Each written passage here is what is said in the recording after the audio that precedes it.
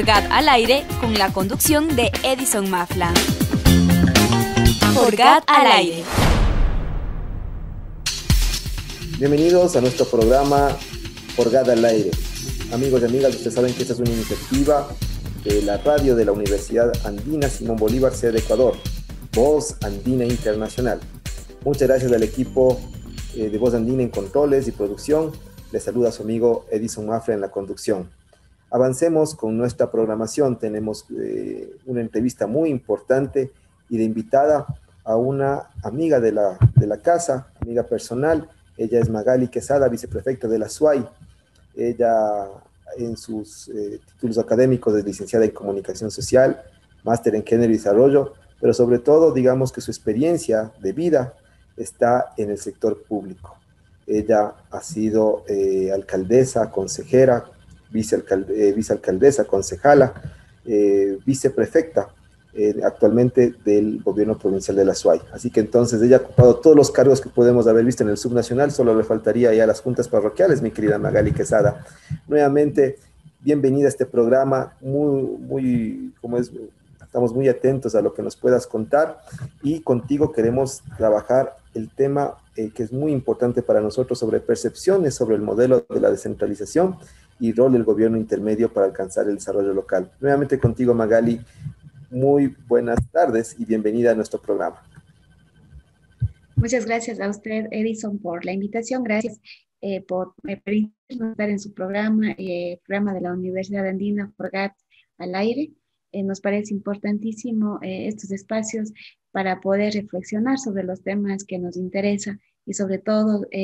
lo que implica ser un gobierno subnacional y lo que eh, genera como incidencia eh, su aplicación de sus políticas públicas en los territorios. Eh, creo que desde las juntas parroquiales, municipios y gobiernos provinciales son gestores de lo que se pueda establecer en un territorio, los cambios que se podrían dar también en un territorio, pero sobre todo el tema de la participación ciudadana para poder incidir en estas políticas públicas que al final deberían redundar en una mejor calidad de vida eh, y en reducir esas brechas de desigualdad social, sobre todo en la ruralidad. Creemos que eso debe ser, debe ser el centro de, de la gestión de un gobierno subnacional. Definitivamente, eh, para nuestros gobiernos autónomos centralizados también ha sido un reto el poder eh, trabajar justamente sobre lo que autonómicamente deberían, ¿no? Sobre sus competencias, sobre sus acciones, las que fueron definidas en la Constitución, pero también quizás otras que, que dependiendo del contexto y la coyuntura local, siempre les inviten a las autoridades locales, a los funcionarios públicos a pensarse y, ¿por qué no?, a repensarse. En ese, en ese sentido, mi querida Magali, para nosotros es muy importante tu visión como, como viceprefecta del gobierno provincial de la SUAY, en donde hemos visto que existe muchas buenas experiencias y creemos que para el país puede esto eh, retomarse en, otras provincias o en otros cantones. Pero quisiéramos tener para ti una primera evaluación de lo que para ti serían, no en, el, no en directamente, sino a nivel nacional, ¿cuáles crees tú que han sido las principales eh, potencialidades y dificultades que han tenido los gobiernos provinciales en estos dos, en estos dos primeros años de gestión? Porque ustedes están en, en mitad de periodo. ¿Cómo le ves tú a la gestión provincial a nivel nacional? Bueno, yo creo que la gestión provincial eh, es una de las eh, más importantes, ¿no? Porque tiene que ver con el tema de la seguridad alimentaria, el tema del desarrollo económico productivo, el tema de la incidencia, el fortalecimiento de la gestión del riego, el tema de la gestión ambiental, que son eh, básicamente eh, elementos importantes de un contexto eh, donde se puede desarrollar la vida, ¿no? La vida y el ser humano. Entonces, las competencias provinciales eh, están encaminadas a un proceso de fortalecimiento, sobre todo en el tema de la ruralidad. Y creo que ahí también se ha confundido mucho por el tema electoral, en que los gobiernos provinciales se han quedado también en lo urbano, cuando lo urbano está definido para las, las ciudades, las ciudades grandes, que efectivamente eh, por su lógica de planificación y de crecimiento tienen también su ordenamiento jurídico. Eh, sin lugar a dudas, el tema de, eh, a raíz de la constitución del 2008 y de la mm, del establecimiento del COTAD en el 2010, se generó una definición de competencias que permitían generar respuestas e incidencias en las metas y objetivos del Plan Nacional antes eh, toda una vida, ahora toda una vida, eh, el, Plan Nacional que en su momento dado eh, planteaba incidir en unas respuestas y en unos indicadores más fuertes en el tema de la ruralidad y también en el tema de los gobiernos municipales. creo que el tema de establecer competencias definidas era para que no se crucen actividades, no se crucen acciones y puedan ser medibles con mayor facilidad. Sin embargo, Creo que en algunos casos se logró, como en el tema de los municipios, en sectores, por supuesto, en el tema de agua potable y saneamiento, por ejemplo, en el tema de incidencia, en el tema de la planificación urbana, en la situación de eh, manejo de desechos sólidos, que fue una política bastante fuerte, eh, con, con, serias eh, incidencias en el tema de las multas y sanciones para quienes no cumplían con esos procesos, y en el tema de los gobiernos provinciales, en el tema de riego, por ejemplo, una incidencia importante que tuvo el tema de la competencia, eh, el tema de la competencia vial, que es un tema también importantísimo en el tema rural, y eh, algunas otras competencias que efectivamente eh, no se han, digamos, no se han logrado costear como deberían. El tema vial es una competencia costosa y no se manejó adecuadamente en su momento dado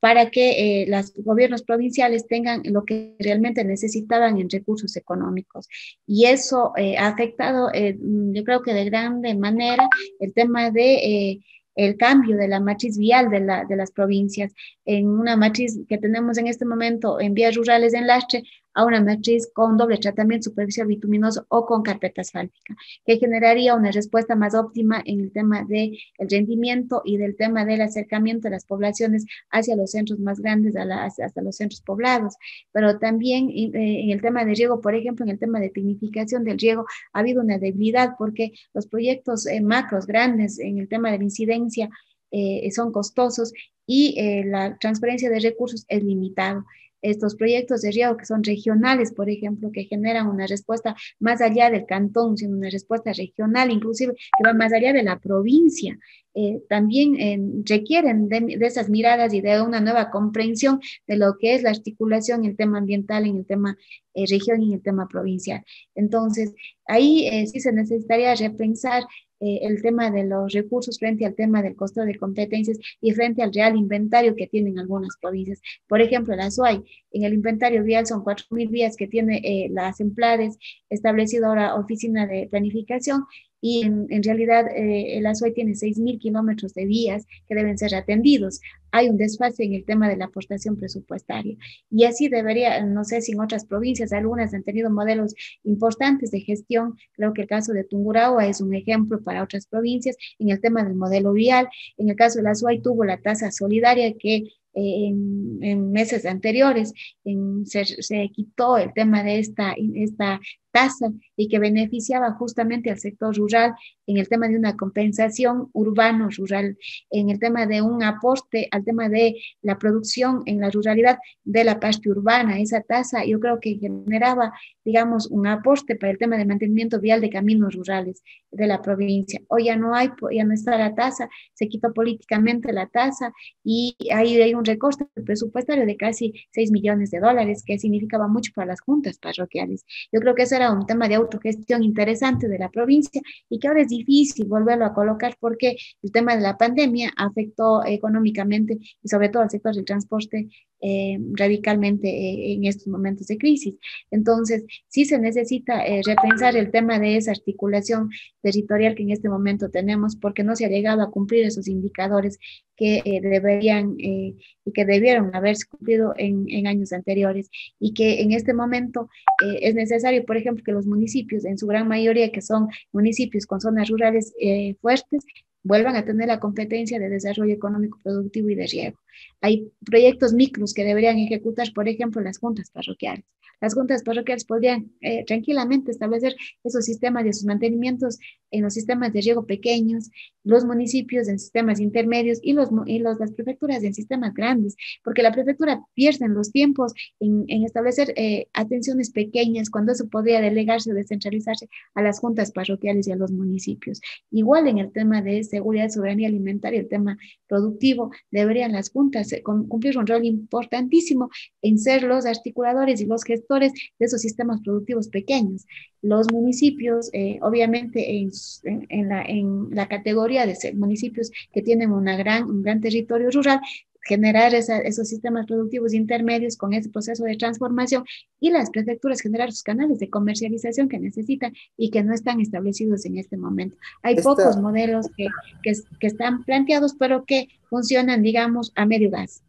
Estos modelos de gestión que tú dices y las complicaciones que nos mencionas cuando el gobierno provincial tiene ciertas competencias importantísimas, por supuesto, como riego, como, como vialidad, como fomento productivo, que también la encontramos en el nivel nacional, en el Ministerio de Agricultura, Pesca, en el Ministerio de Ambiente, ¿no es cierto?, en el Ministerio de, Transporte y Obras Públicas, pero que también a la vez eh, se coordinan con otros niveles subnacionales como el propio municipio, pero más, digamos que mucho más fuertemente con las juntas parroquiales, será este entonces un primer eh, tema a, ser revisado. Ahora se podrá incidir eh, pensando un poco desde la Asamblea Nacional o pensando un poco desde los gremios de los gobiernos provinciales como el Congope, para que esto se pueda tratar de una vez por todas y exista una mayor claridad sobre las competencias o una mayor claridad sobre los presupuestos que se deberían ejecutar. ¿Cómo le ves tú esa posibilidad? Políticamente, ¿esto se podría dar? Yo creo que sí se podría dar si eh, existe la voluntad eh, política de los eh, niveles de gobierno, ¿no? Como es el gobierno provincial, en permitir que esa competencia sea asignada a las juntas parroquiales con recursos. Creo que sería más efectivo. creo que en el nivel provincial eh, deberían tener los proyectos macros, los proyectos eh, que llamamos regionales, porque están eh, compuestos por, por, un proyecto que va de tres o cuatro cantones y que necesitan fuertes sumas de dinero y sobre todo también incidencia en el tema de investigación y la construcción de los estudios. Pero esos proyectos pequeños, esos temas de mantenimiento de sistemas y canales de riego pequeños, lo pueden tranquilamente hacer las juntas parroquiales. Creo que es importante el fortalecimiento e institucional de las juntas parroquiales, el darles mayor posibilidad eh, tanto en el apoyo técnico eh, y logístico de las juntas parroquiales. Eh, creo que se podrían volver en gobiernos territoriales interesantísimos en una lógica de un gobierno nacional que necesita legitimar su política pública, porque los ministerios han quedado y han dejado eh, bastante mm, que decir en el tema de aterrizar en el territorio. Si bien es cierto, son los entes rectores, pero han querido aterrizar en el territorio y ahí se vuelve una complicación porque no tienen ni la capacidad eh, de cercanía a la gente, ni, ni conocen tampoco y se alcanzan para lo que es eh, lo micro, que, es, que, es que son múltiples comunidades, que sí lo hace la Junta Parroquial. Y si les fortalecemos a las juntas parroquiales, si les damos mayor recurso a las juntas parroquiales, inclusive creo que el ahorro de la, de la institución y el ahorro del Estado va a ser eh, mayor frente a lo que podría lograr un ministerio. Yo creo que ahí sí se necesita generar eh, esta respuesta desde la descentralización a las juntas parroquiales y también el Estado desvincularse de este proceso, no digo desvincularse en el sentido eh, de decirles, ya, ya verán ustedes qué hacen, sino más bien eh, otorgarles ese espacio a las juntas parroquiales para que ellos realmente se vuelvan gobiernos territoriales como lo deben ser y como en este momento en algunos casos lo hacen con las, con las múltiples necesidades que tienen, pero lo están haciendo. Igual los municipios que son, eh, digamos que casi el 80% de municipios son rurales, eh, muy pocas son eh, capitales de provincia grandes y municipios intermedios de 50, 60, 70 mil habitantes, que ahí ya son municipios urbanos, que tienen otra lógica frente a los municipios rurales, que tienen que responder todavía a la lógica de producción eh, artesanal. alimentaria y que tienen que tener todavía incidencia en esa intervención y esa política pública con la comunidad o con el sector campesino. Creo que por ahí eh, también se debería generar una respuesta a, los municipios y volverles a otorgar esa competencia. Si bien es cierto, no van a duplicarse con los gobiernos provinciales porque ellos deberían estar enmarcados en un tema más grande, más macro, en el tema de, por ejemplo, los espacios de comercialización que no se ha logrado hasta ahora y que la gente ha pedido respuestas claras a este proceso, en el apoyo, por ejemplo, a tener espacios adecuados, dignos para la gente que viene a, eh, del campo a vender sus productos en el, en el tema de establecer estudios concretos, grandes, de proyectos macros en el tema de eh, riego y sobre todo el tema vial, que es más que suficiente y que si, si es que los gobiernos provinciales se dedican al tema vial, a tener una, un sistema y un modelo vial correcto, adecuado, yo creo que estaría dando una respuesta a estos otros sectores que lo podrían hacer los otros niveles de gobierno. En, esos, en ese modelo que tú mencionas, querida Magali, eh, hay algunos, algunas figuras previstas en el propio COTAD. Estamos hablando de las mancomunidades, de los consorcios, ¿sí? de las empresas públicas, las empresas mixtas.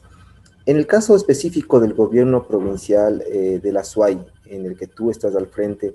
¿con cuáles modelos han sido más efectivos eh, manejar las relaciones entre,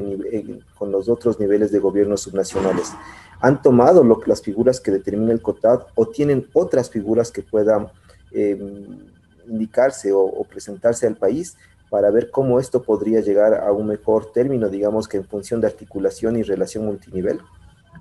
Sí, eh, yo desde la experiencia que eh, estuve como consejera provincial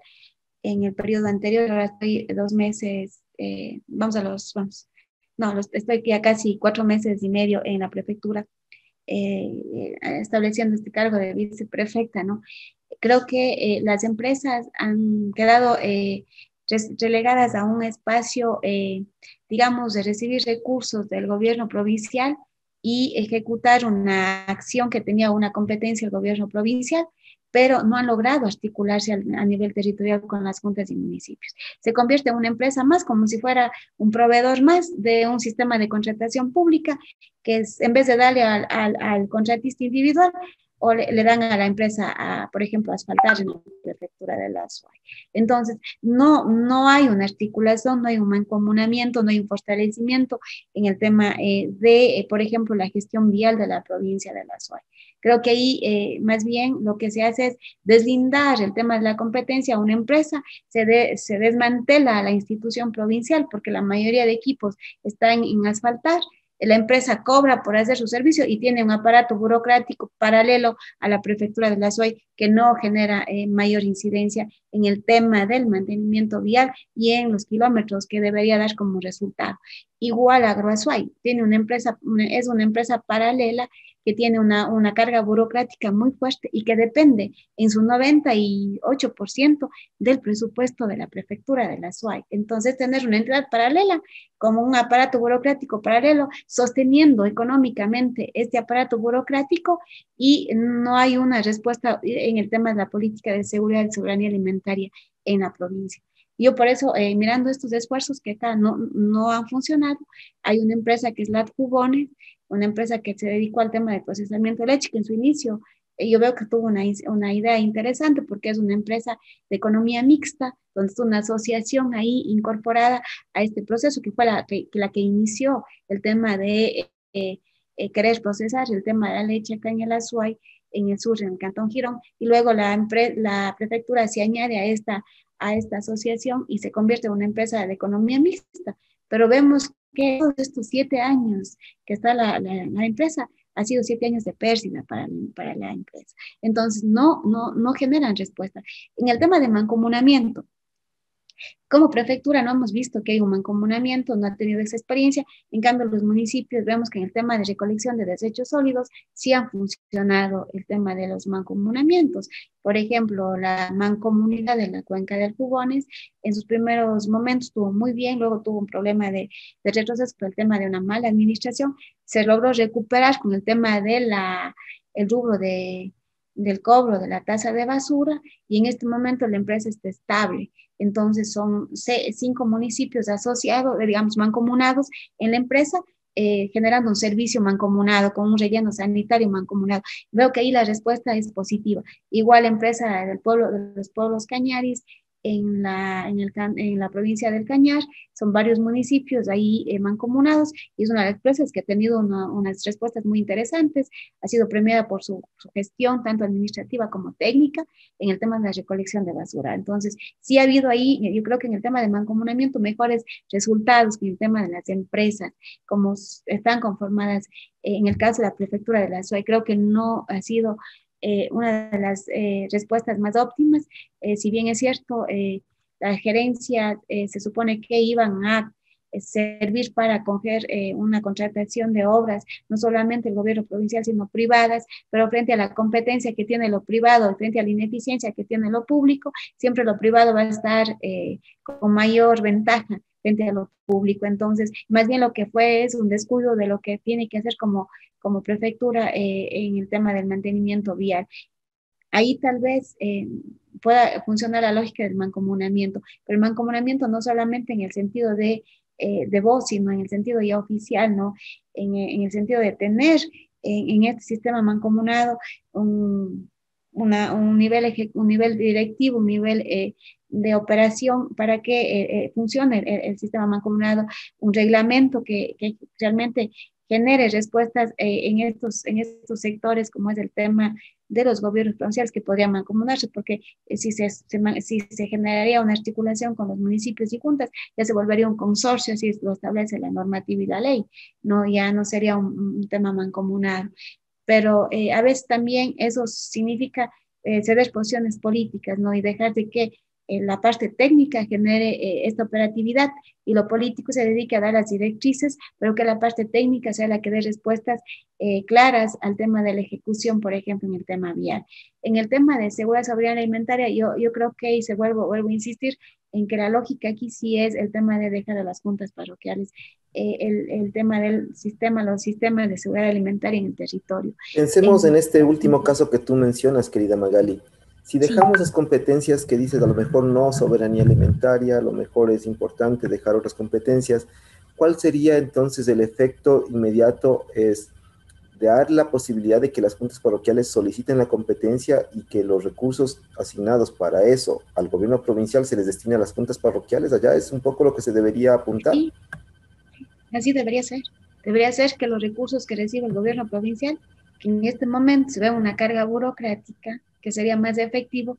que le, asignen a eh, las juntas parroquiales, que llegaría más, más eh, digamos, directamente el recurso al territorio, a las, a las comunidades campesinas, al sector productivo, que también hay sector productivo intermedio, que, genere respuesta a esos sectores eh, importantes que están en este momento haciéndose cargo del tema productivo en la ruralidad. Yo creo que sería más directo ese proceso, sería inclusive más eficiente en un tema de eh, la relación que podrían hacer los gobiernos rurales eh, en torno a, políticas territoriales. Ahí podrían mancomunarse las juntas parroquiales y generar políticas territoriales de intervención en el tema productivo, por ejemplo, y en el tema de eh, inclusive la calendarización de la producción que es necesaria eh, en sectores donde ya tienen asegurada su alimentación, pues calendarizar la producción para que no se puedan competir o no puedan bajar los costos en el mercado porque ya el uno produce, eh, voy a decir, tomate de árbol y el otro se me está produciendo tomate de árbol y el otro se me está produciendo tomate de árbol o la producción de invernaderos que ahora fluyen por todo lado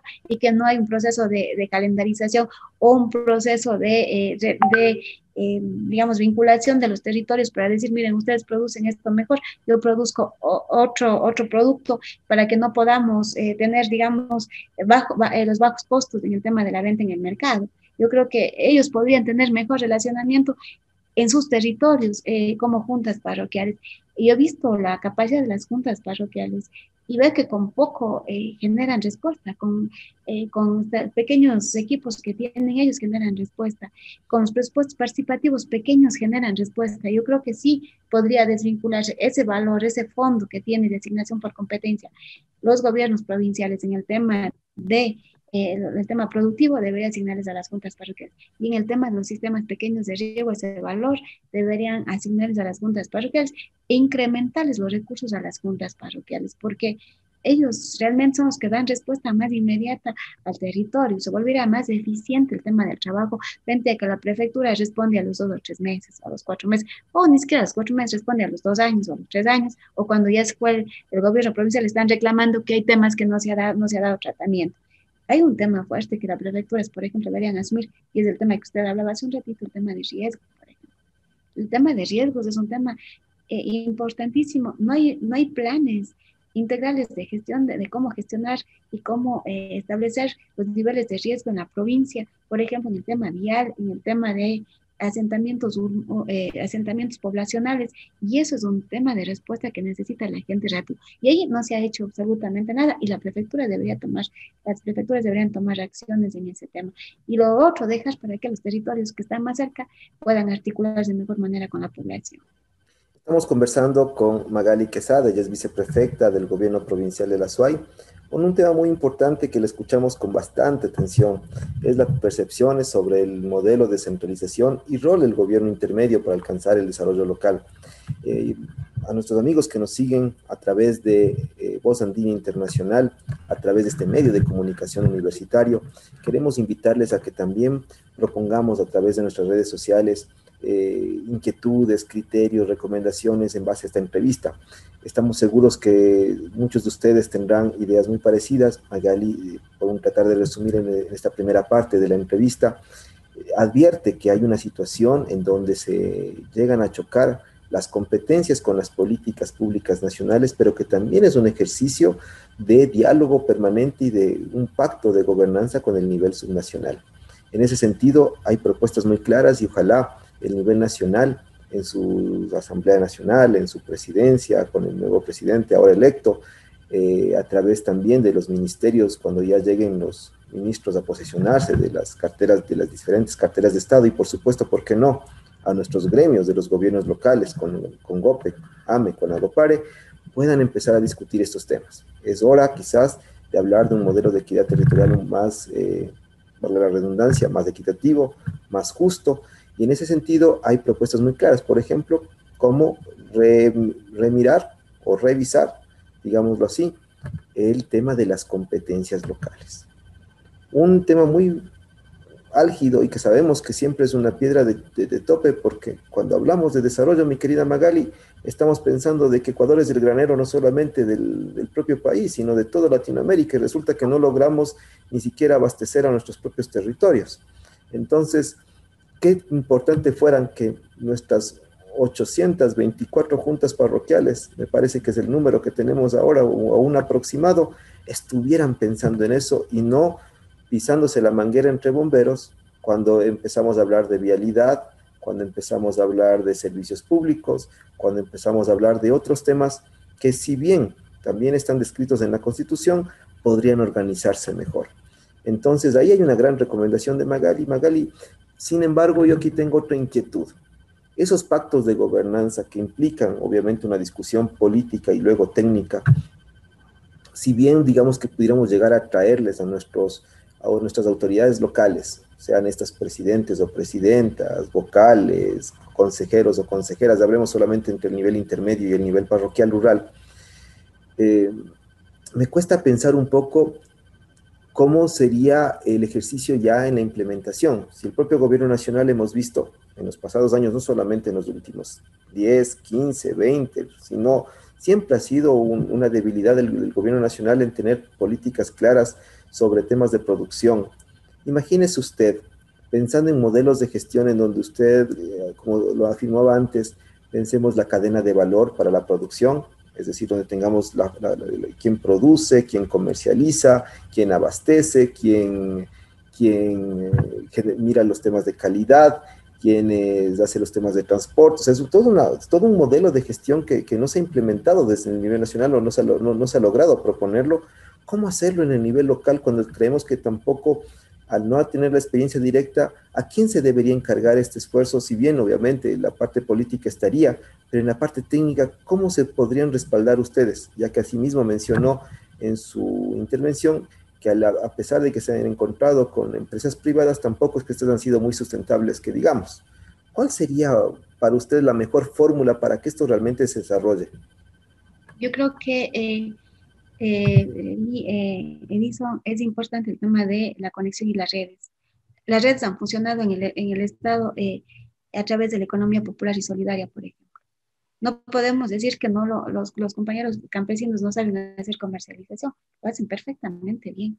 Han generado asociatividad eh, para poder comercializar, por ejemplo, sus productos asociadamente y poder competir con un mercado y con el ingreso de producción de afuera. El tema, por ejemplo, eh, asociaciones en el tema de la producción de cuyes, en el tema de la comercialización, han funcionado perfectamente bien y lo han hecho de manera eficiente, con control de calidad. Si ahí las juntas intervienen en el tema eh, de, la, de, la, de, la, planificación, del procesamiento y de la, eh, del tema de la gestión hasta el tema de la venta, yo creo que funcionarían perfectamente en el tema de redes. Las redes eh, generan un esfuerzo interesante y además que se cuidan entre ellos para poder que ninguno de ellos caiga en, en tema de eh, generar, eh, digamos, una respuesta negativa frente a su producto, porque tienen que cuidar su imagen, tienen que cuidar su, a sus clientes y tienen que cuidar también su espacio, su nicho de mercado. Yo, yo creo que si nosotros hablamos del tema de la economía popular y solidaria, lo han venido haciendo desde hace mucho tiempo atrás lo, siguen haciendo. Bueno, aquí hay un ejemplo clarísimo que desde la época del exprefecto eh, Carrasco eh, se generó un espacio en el tema de un emprendimiento, de un espacio de venta eh, con los productores del sector campesino en el tema agroecológico y hoy funcionan perfectamente. Y si, y si, aquí consultamos a los consumidores, que son más de 2.000, 3.000 consumidores que van allá, ellos dicen que es un producto de calidad y viene del campo, viene de la comunidad. Entonces, ya se generan estas redes, ellos mismos se cuidan, se articulan, se mejoran y se acompañan en el proceso. Más que suficiente también el explicar el tema de, por ejemplo, eh, la calificación de garantía local que tienen las redes de, productores agroecológicos, por ejemplo. Mí me parece un ejemplo. Son entre ellos los que se, los que se cuidan, se califican, los propios compañeros tienen sus fichas de calificación, generan eh, procesos de, de, calidad en el tema de la producción agroecológica y garantizan ellos mismos que efectivamente el producto que están vendiendo al consumidor es un producto limpio, es un producto sano. De la misma forma generarían estas redes con los gobiernos territoriales, gobiernos locales. Y más fácilmente que eh, desde afuera se introduzca un proceso de comercialización o desde afuera se busque un proceso de control de calidad, cuando los mismos sistemas locales de garantía local lo pueden hacer. Yo creo que eso, eso no es complicado, no es difícil. Eh,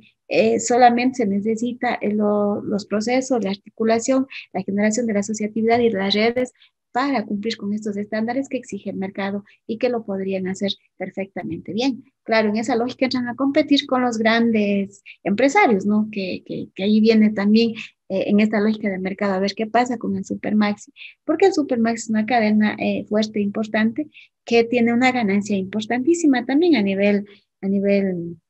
nacional. Y ahí, eh, si vamos con los productores y con los campesinos, que son los que efectivamente van a generar esta red, podrían, ¿por qué no competir con, este, con estos espacios que eh, efectivamente tienen su control de calidad, eh, cumplen con las normativas, que generan también procesos de valor, de valor agregado, que generan un procesamiento y que en estas cadenas, en estas cadenas y en estos procesos de, eh, de articulación de los sectores eh, rurales y de los sectores territoriales, como son las juntas parroquiales, eh, están los espacios y los gremios que en este momento tienen para fortalecer esa asistencia técnica. El CONAJUPARE es una organización importante. En el caso del CONCOPE, una organización importante como es el, el CONCOPE, que que está, eh, digamos, representando técnicamente a los gobiernos provinciales del país, la AME, que es la Asociación de Municipalidades, que está históricamente, eh, digamos, también eh, fortaleciendo en el tema técnico, ¿por qué no ahí a, fortalecer y apoyar en el tema de los procesos de comercialización y de las cadenas de valor? No creo que es difícil, más bien yo lo que pienso es que ahí sí se va a generar una respuesta importante en los territorios para que la gente no salga y no siga inmigrando a las ciudades no siga abandonando el campo. Como usted decía, eh, sigue, importamos productos eh, como el ajo, eh, importamos productos para cubrir el tema alimentario en, nuestro país cuando tenemos espacios abandonados y que pueden producir perfectamente y cubrir la alimentación de nuestro país, e inclusive esa alimentación también, esos productos de exportar al exterior con calidad. Yo creo que hay una garantía más todavía, un proceso de un sello eh, eh, limpio con sello agroecológico, que eso en otros países es costoso, ¿no? En otros países tener un, una manzana es producida eh, eh, de manera limpia, agroecológica, tiene un valor adicional que es la manzana que produce con bastante químico, además por el efecto que eso significa para el tema de la salud. Yo creo que todas estas condiciones sí son, sí son posibles de armar, sino que se necesita la voluntad política nacional de de, dejar ciertos espacios para los territorios que se fortalezcan los territorios. No estamos diciendo que también la gran industria va a desaparecer, porque no es así. Tienen su espacio, tienen también su, su, están ya en el mercado, han logrado generar ya su impacto, no se quiere contradecir con ese proceso, pero sí generar respuesta a los territorios para que los territorios puedan sostenerse, porque de otra manera eh, las grandes ciudades van a tener que eh, seguir receptando la migración del campo o eh, la migración extranjera que ahorita también se ve que, que, sigue fluyendo de manera fuerte, sobre todo en el, sur, que va hacia el norte, hacia Estados Unidos, y eso también significa abandono de la tierra, abandono de las familias, descomposición familiar y eh, adicional a eso, eh, el tema emocional que también en este momento se ve que tiene un efecto importante en el tema de la sobrevivencia familiar y el tema de la vinculación familiar. Querida Magali, muy importante lo que nos cuentas. Sabes que nos recreas muchas imágenes, no solamente de lo que vivimos al interior del, país, sino también esa relación rota que tenemos a veces las familias con nuestros seres queridos que se encuentran en otro país, ¿no? Pudiendo aprovechar tanta riqueza que tiene nuestro país y los gobiernos subnacionales podrían tener una incidencia positiva, inclusive para acercarnos mucho más y romper esas distancias que hoy por hoy eh, tenemos que decirlo así, son los, eh, los bemoles de la, de la migración, ¿no? Bueno, eh, Magali, más bien yo quisiera en este momento, como eh, se nos está acabando el tiempo ya en, en, radio, más bien ir cerrando contigo en función de cuál sería ahora sí, desde el gobierno provincial de la SUAY, en la, lógica de, su territorio, cuál, cuál sería para ustedes el papel de la academia. Yo sé que la, la academia está muy cercana a ustedes, que ha incidido, ha incidido o quiere incidir de manera positiva también en el desarrollo eh, provincial, pero ¿cuál podrías tú, a manera de resumen, decir que sería el rol de la universidad para que pueda fortalecer estas acciones o estas intenciones que tú bien nos estás proponiendo en esta, eh, en esta entrevista? Sí, yo creo que la academia eh, juega un papel importantísimo Primeramente, en el tema de la replanificación del territorio, eh, sería una, una apuesta importante que la academia podría eh, plantear como investigación y como, eh, digamos, propuesta hacia los gobiernos subnacionales. una otra línea que es el tema de la investigación en los territorios, por ejemplo, el tema de, los sistemas productivos, que, que, de, qué, de qué manera podrían generar mejor respuesta o mejor, digamos, eh, incidencia en el tema de su eh, sector productivo eh, de acuerdo a la lógica y la potencialidad del territorio. Ahí daría realmente una respuesta interesantísima a la, academia. El tema de la asistencia técnica también hacia los gobiernos parroquiales y hacia los gobiernos municipales. El tema de transferencia de tecnología que lo han investigado en muchas universidades y que se ha quedado simplemente en el libro, pero que no llega hacia las, hacia las comunidades, no llega hacia, los, hacia las instituciones, no llega hacia el técnico que está en el territorio, ese acompañamiento desde el esfuerzo, por ejemplo, de la academia y con el tema de mejorar eh, eh, los sistemas de los abonos orgánicos, en el tema de investigación y cómo podría eso generarse con mayor capacidad de respuesta, porque eh, demora mucho en procesar, por ejemplo, eh, un abono orgánico frente al químico, cómo podría eh, generar mayor respuesta y mayor cantidad para que la gente pueda producir a menor costo. Serían investigaciones que la academia podría desarrollar. El tema de un papel de, de cómo fortalecer, por ejemplo, las juntas parroquiales en esas nuevas estructuras para dar respuesta a estos sistemas productivos y a estos, a estos sistemas, digamos, más pequeños en el tema del mejoramiento de lo, y mantenimiento de los sistemas de riego, el tema de la tecnificación de esos sistemas de riego eh, para que eh, las juntas puedan ser más eh, eficientes y más rápidas en el tema de la respuesta hacia las organizaciones y hacia el sector campesino. Y creo que por ahí también se debería generar desde, la, desde la academia el tema del fortalecimiento organizativo, porque creemos que sin organización básicamente eh, la sociedad está eh, dispersa, está individualizada, no hay un, sistema organizativo en el tema de estas redes, por ejemplo, que es necesario construir, a seguirlas construyendo. No es cierto que por la globalización nos volvemos seres individuales. ahora más que nunca nos hemos dado cuenta con la pandemia que si no está el campesino en la ruralidad generando los alimentos, nosotros encerrados mal podemos hacer desde la ciudad. Es el campesino el que nos ha dado la alimentación durante estos días de pandemia este feriado, este fin de semana igual. Entonces ellos siguen produciendo para que nosotros tengamos alimentos todavía disponibles en los comisariatos, en, en los mercados, en las plazas. Yo creo que ahí la academia eh, juega un rol importantísimo, un rol eh, eh, realmente incidente en el tema de